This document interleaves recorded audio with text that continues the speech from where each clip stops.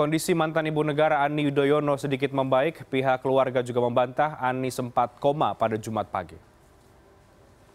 Sejak Rabu kemarin kondisi Ani memang tidak stabil karena itu ia harus menjalani pengobatan intensif di ruang ICU. Saat ini seluruh anggota keluarga telah berkumpul di Singapura untuk memantau kondisi istri Presiden RI ke-6 itu.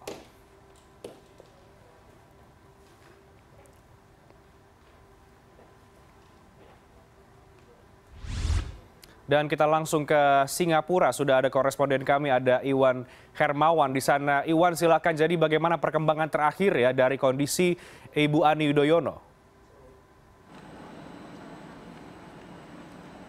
Ya baik, terima kasih Renhard. Dan memang tadi saya berbicara dengan Imelda Sari, berbicara dengan Pak Rumah yang saya temui di rumah sakit tempat Ibu Ani dirawat dan memang kondisinya memang masih naik turun, masih up down. Jadi karena memang uh, masih dilakukan juga pengobatan intensif. Namun demikian, uh, Imelda sendiri dan juga dari pihak keluarga membantah bahwa pada pagi tadi Ibu Ani mengalami koma karena memang agar optimal agar pengobatan yang dilakukan dan memang pengobatan itu dilakukan agar pengobatan itu harus memerlukan Ibu Ani tidur begitu jadi agar obat masuk itu bisa optimal jadi memang bukan koma tapi kondisinya ditidurkan dan namun demikian tadi juga uh, kami juga mendapat informasi bahwa sebenarnya kondisi saat ini sudah agak lebih membaik dibandingkan uh, hari sebelumnya kan.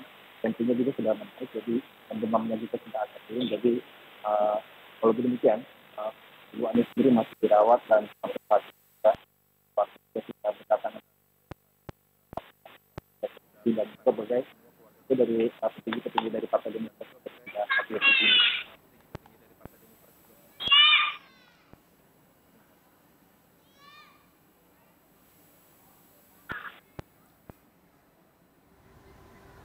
Baik, terima kasih Iwan Hermawan untuk laporan Anda langsung dari Singapura.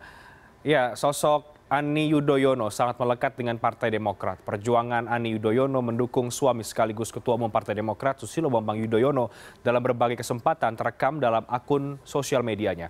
Bahkan Ani Yudhoyono sempat mendampingi SBY dalam kunjungan ke Aceh dan Sumatera Utara sebelum akhirnya jatuh sakit. Berikut kami hadirkan kebersamaan Ibu Ani Yudhoyono bersama dengan Partai Demokrat.